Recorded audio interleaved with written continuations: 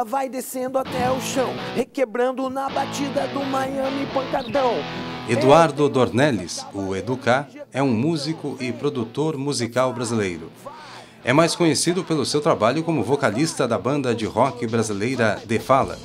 Com o hiato da banda em 2004, Edu começou a trabalhar em sua carreira solo internacional voltada para a música eletrônica. Em 2009, também anunciou seu envolvimento como vocalista da banda de glam rock brasileira Teenage Disco Hell e de outra, com ex-membros do The Fala, ainda sem nome divulgado. Durante as décadas de 1980 e 90, Edu também participou de uma série de bandas de rock como Psycho, Vermont Waters, Groove Brothers, Offside for Phil e Electra. Em 2015, participou da oitava edição do reality show A Fazenda. Gravando. Meu nome é Educar, mas o nome que meu pai e minha mãe me deram é Eduardo Martins Dornelles. Eu nasci no Ernesto Dornelles, uh, aqui em Porto Alegre, mas eu sou um darilho porque meu pai é muito nômade, desde pequenininho a gente viajava muito, ele trabalhava com produção é, de engenharia civil, essas coisas.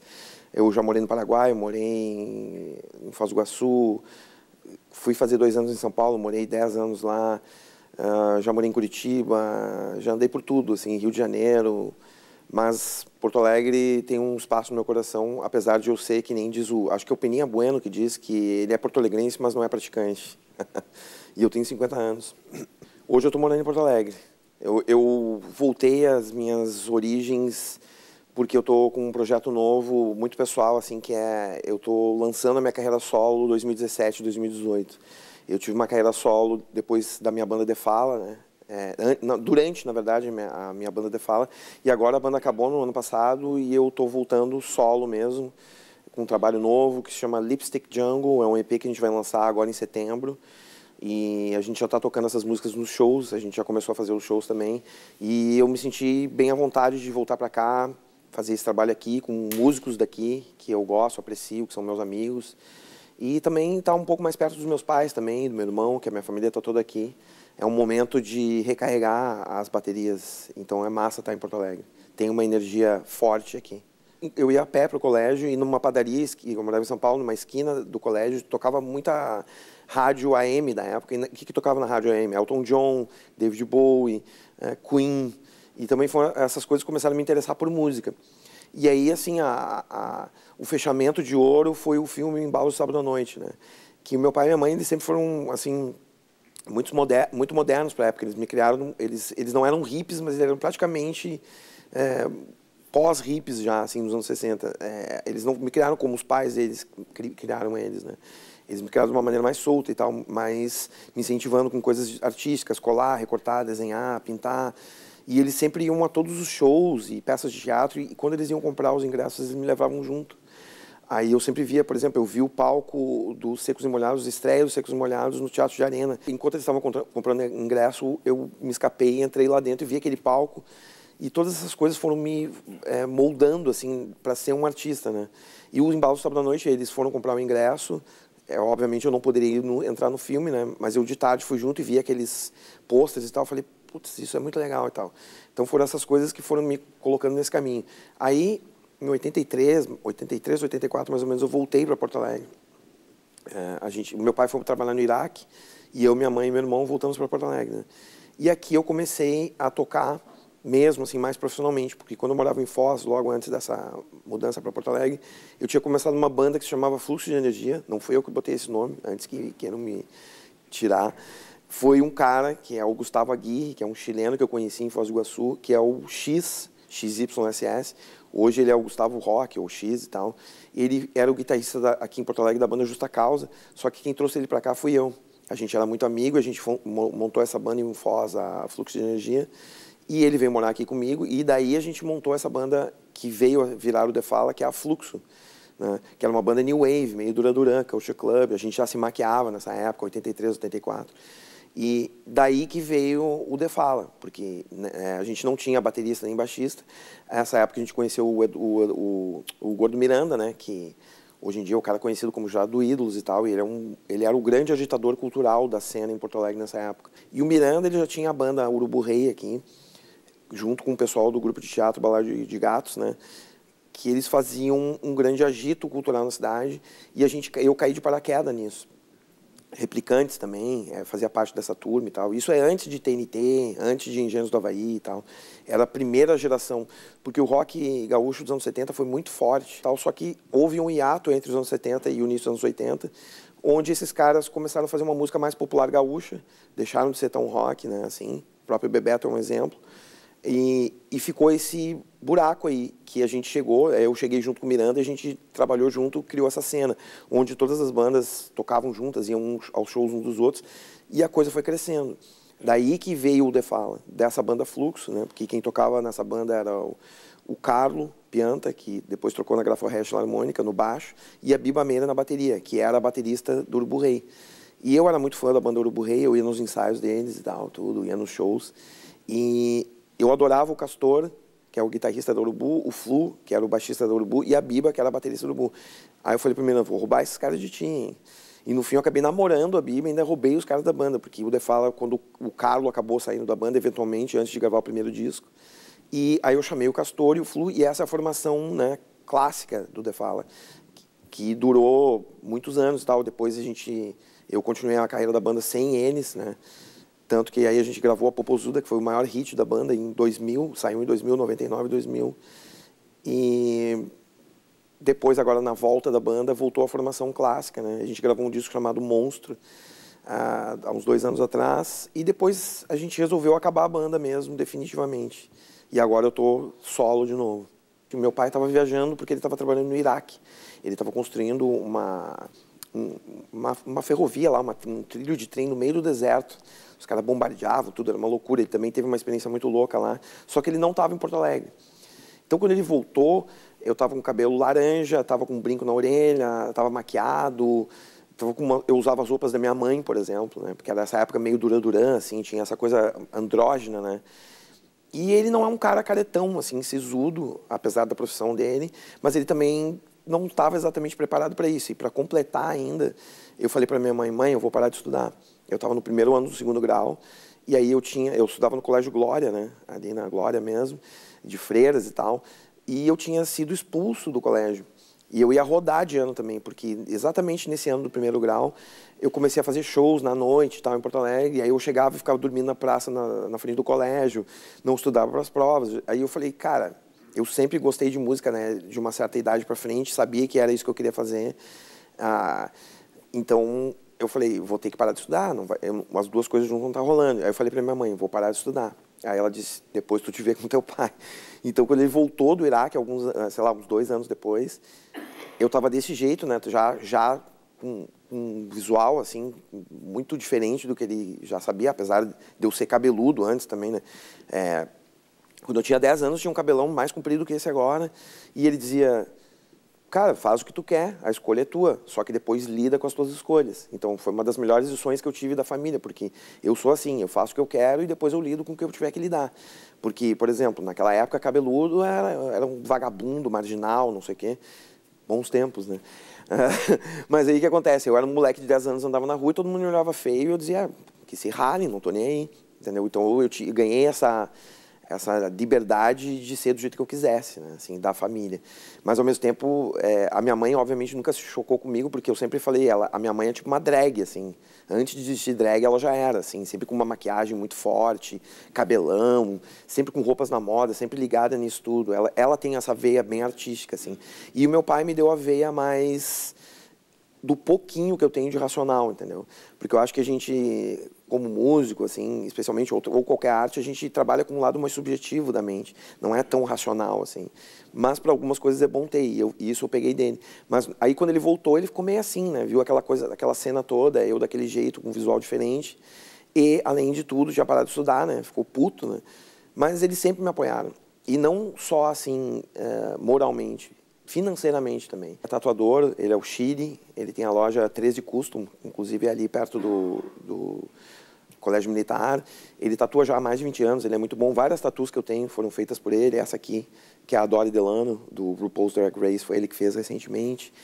E ele também é um cara muito artístico, assim, ele também teve o mesmo tipo de, de criação que eu tive, né? A gente teve essa liberdade de, de investir na nossa arte.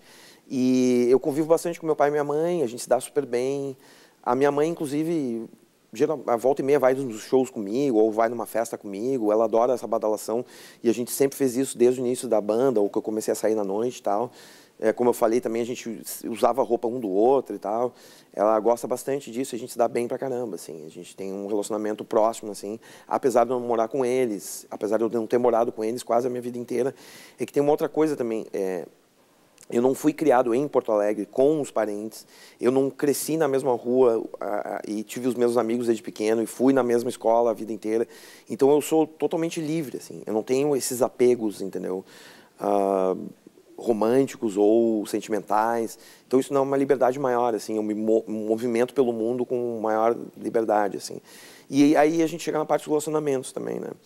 Uh, eu não acredito no formato que os relacionamentos têm. Não acredito em namoro, casamento, essas coisas. Eu acho que isso é uma jaula que é imposta uh, pra gente, assim. É uma maneira de deixar as pessoas no seu lugar entendeu? O que a própria sociedade, os governos fazem. Eu acho é um embuste assim, não é uma coisa que funcione.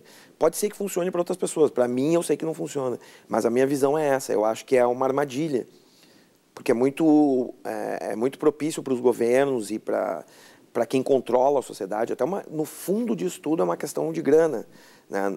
o, o, o povo fica preso numa num certo molde social. Claro que um pouco disso é natural da, da, da, humanidade, mas eu acho que as pessoas, quem precisa, se aproveita um pouco disso.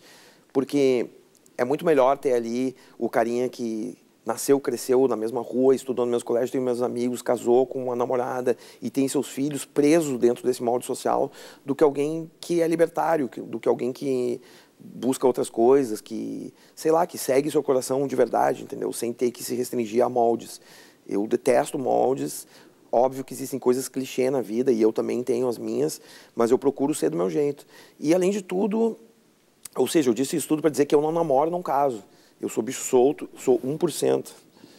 E esse 1% sim é do Wesley Safadão. É essa música mesmo aí que vocês pensaram.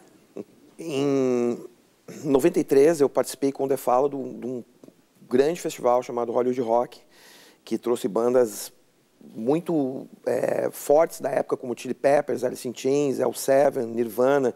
E a gente participou desse show, tanto no Rio quanto em São Paulo. Né? Em, no, em São Paulo foi no estádio do Pacaembu, se eu não me engano, e no Rio foi na Apoteose. E a gente causou um impacto muito grande, assim, mesmo para os gringos. Porque o pessoal via a gente na TV e tal, e via a gente nos bastidores, né?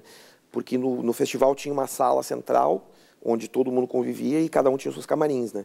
E obviamente a gente querendo aparecer, querendo tocar o horror, querendo zoar as bandas, querendo conhecer os caras, a gente ficava sempre na sala em comum, né? E a gente levou um radião assim e ficava tocando o nosso disco da época, que era o Kings of Bullshit e tal. E aí os gringos ficavam olhando pra gente porque tipo assim, eu tava de mini saia, com uma lã cor-de-rosa colada na cabeça, tinha um visual assim bem extravagante, né? Assim, que é uma coisa que vem também até do George Clinton, do Parliament, do Funkadelic, vem do David Bowie. Eu gosto dessa coisa. Hoje em dia tem uma influência mais forte de drags, né? Tipo, que é, em geral as pessoas conhecem mais por causa do RuPaul, que é um, um visionário, é um, é um, cara que começou bastante isso em Nova York nos, nos, anos 80. Eu já tinha influência dele desde os anos 80 e tal, que hoje em dia ele tem o programa RuPaul's Drag Race, né? É, e, e eu voltei a me inspirar mais nisso agora, como obviamente dá para ver. E e aí, tipo, eu tinha esse visual muito, muito assim, agressivo, né? E louco, psicodélico, colorido, e as bandas começaram a prestar atenção. Um dia a gente estava ali e o Anthony Kidd veio, ah, o que, que é isso que vocês estão ouvindo aí, né? O vocalista de Peppers. Falei, ah, isso aqui eu disse da nossa banda, né? Ele, pô, demais, tem um pra mim aí, a gente deu pra ele. Aí, num outro momento, a gente estava conversando num corredor, assim, dos, nos bastidores ali, com o Flea, né? Que era o baixista do Chili Peppers. E ele, pô, a banda de vocês é legal, tal. Começamos a trocar ideia de skate, né? Porque eles são da Califórnia, não sei o quê. E aí veio o segurança brasileiro e disse, ah, vocês estão incomodando ele. Ele disse em inglês, não, não, estou de boa aqui, tá legal a história. Não, estou incomodando. Aí afastaram e tal. Um outro momento, o Chris Novoselic, que era o baixista do Nirvana, ele veio trocar uma ideia com a gente no camarim e tal. E aí eu disse para ele, ah, pô, a, a, o Kurt parece o, o, o, o, Sean Cassidy, né, que era o cara da família do Remy e tal. E ele disse, pô, esse é o apelido dele na banda. E nós, kkk. Aí, num outro momento fora do festival, num, num momento que a gente estava em São Paulo, numa rua, onde todo mundo ficava na rua, assim, bebendo e tal, o Jerry Cantrell, que era o guitarrista do Alice in Chains, chegou perto de mim e tal, né, me cumprimentou. Aí eu estava com com aquele programa do festival, e eles escreveram assim, Jerry Cantrell uh, se inspira e meio que rouba o, os riffs de Jimi Hendrix, porque o Jimi Hendrix também era de Seattle como eles, né? Era meio que uma tentativa de, de piadinha, assim. Aí eu fui mostrar para ele, falei, olha só que ridículo isso aqui. Aí ele ficou puto comigo, ele disse, o quê? Tu tá dizendo isso? Eu falei, não, tá escrito aqui. Não, tu tá dizendo. E ele tava puto nesse dia, porque uma fã tinha roubado o dog tag do Vietnã, do pai dele, que é aquelas correntes, né, com, com aquelas plaquinhas. Aí ele, ele quis brigar comigo. Aí começou aquele, ah, vai, vai, não sei o quê. E ele já veio para cima, eu já fui para cima e os caras seguraram. Então teve todo esse, esse, esse envolvimento da gente com as bandas e tal. E foi uma coisa que acabou projetando a gente também bastante, né, esse festival. E uma das coisas também que projetou e que no fim me trouxe muito problema foi que nesse festival em especial é, eu, tava, eu, eu quis condensar todos, não exatamente igual, mas eu quis condensar assim as espécies de looks que eu tive no The Fall, espécies de roupas e cabelos e tal. Então, um desses looks era uma mini saia, é, e por baixo eu estava com uma meia no pênis. E que era assim, o The Fala sempre foi muito debochado, assim. A gente a gente sempre foi chacoteiro de marca maior, que é uma característica de Porto Alegre. É um humor muito gauchesco, especialmente de Porto Alegre, que eu encontrei quando eu fui eu, eu toquei bastante fora do Brasil, né, como DJ, encontrei esse humor na Alemanha. Não por acaso, né? A gente tem uma colonização grande aqui, que é um humor ácido, sarcástico. Uh, por exemplo, na Alemanha, quando tu conhece alguém, se tu já não sair folgando, assim, já tirando uma onda, eles te tiram para trouxa. Tu tem que fazer isso. Porque é uma maneira é, divertida de se conhecer, é uma maneira divertida de se cutucar. E a gente é muito assim aqui no, em Porto Alegre. Tanto que, às vezes, nos outros estados não entendem o nosso humor, né? Esse humor negro, assim, tipo... E, e aí, a gente sempre zoou bandas com, gringas com as quais a gente tocou junto, né? Na época do The Fala. É, a gente tocou com é, tocou antes do New Order, um monte de coisa assim e tal. Mas aí nesse, nesse show em especial, a gente abria basicamente para o Chili Peppers. E o sucesso deles na época era Give It Away. E eles, num certo momento da carreira deles, usaram os cock socks, né, que eram as meias no pinto, assim.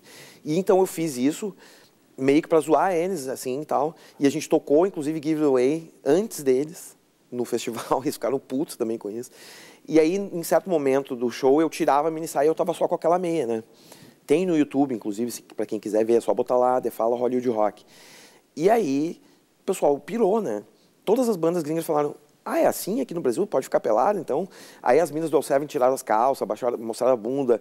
O, o, o, o Kurt Cobain tirou o pinto para fora na câmera. Para mim, arte é arte. Assim, para mim, mesmo entre uh, as mídias, por exemplo, cinema, colagem, música, teatro, para mim tudo é arte.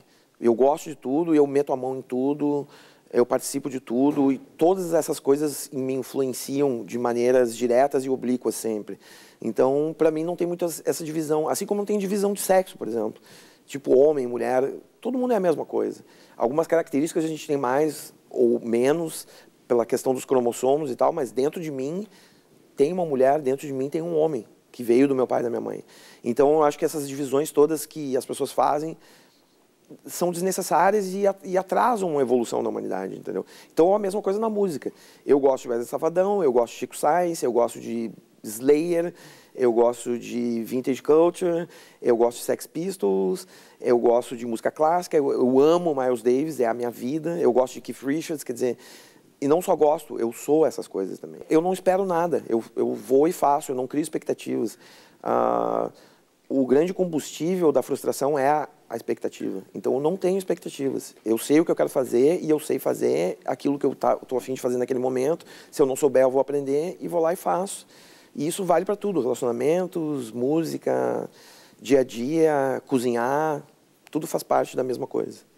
Tem uma coisa muito engraçada que aconteceu recentemente, assim, talvez uns dois anos para cá, que tem um, um grupo que é uma espécie de escola virtual que se chama Educar e, e eles são muito fortes na internet, entendeu? Tem propaganda deles em todas as redes sociais, no Google tem muita coisa, sempre que tu bota educar, até isso é bom para quem for querer pesquisar mais sobre a minha carreira, se for no YouTube ou se for no Google, vai ter bastante vídeos meus é, tocando fora do Brasil, tocando no Brasil, tocando com Defala, tocando solo, discotecando, ou matérias e coisas e tal. E aí tu vai botar educar no Google, por exemplo, e vai aparecer dois educars, vai aparecer as minhas coisas e vai aparecer as deles. Para diferenciar, assim, geralmente o deles é EDU minúsculo e o K maiúsculo. O meu geralmente tudo é maiúsculo. Então o que acontece? Essa escola virtual por incrível que pareça, pelo ramo deles que trabalham com redes sociais e, e internet, então não sei o quê, os caras não pesquisaram no Google para ver se tinha outro educar e fizeram educar. Então, assim, eles são educar, mas eles não são eu. Eu não tô boy, galera. Vários amigos meus, tipo assim, ah, tá boy, hein? Tá com um curso, tá ensinando a, a, fazer escova de cabelo, tá ensinando culinária, tá ensinando, porque eles são uma escola geral, assim, de várias coisas, né? Aí eu digo, cara, não tô boy, não. Eles, são eles, eles que não pesquisaram antes para ver se tinham outro lugar e botaram educar. Quer dizer, um dia eu ainda vou ter que receber meus royalties disso aí, hein, galera? Como eu sempre tive é, é uma paixão muito forte por música, ponto. Entendeu? O que eu quero dizer com isso? Música é música, não interessa que estilo entendeu? Definir o teu gosto musical por estilos é meio patético, porque tem tanta coisa acontecendo hoje, ontem, o que vai acontecer depois, entendeu? Então eu, eu gosto de música e faço música, ponto.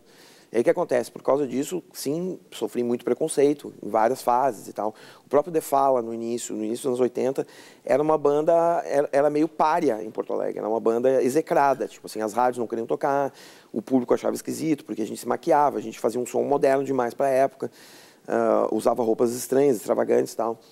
Então as pessoas meio que tiravam assim, ah, esses caras são ridículos e tal. Aí o que acontece? Começou a vir Paralamas do Sucesso, Legião Urbana, uh, Capital Inicial, as bandas que eram consagradas já nacionalmente e, e quando chegava aqui diziam, ele, ninguém nem perguntava, eles diziam, a gente ama o The Fala.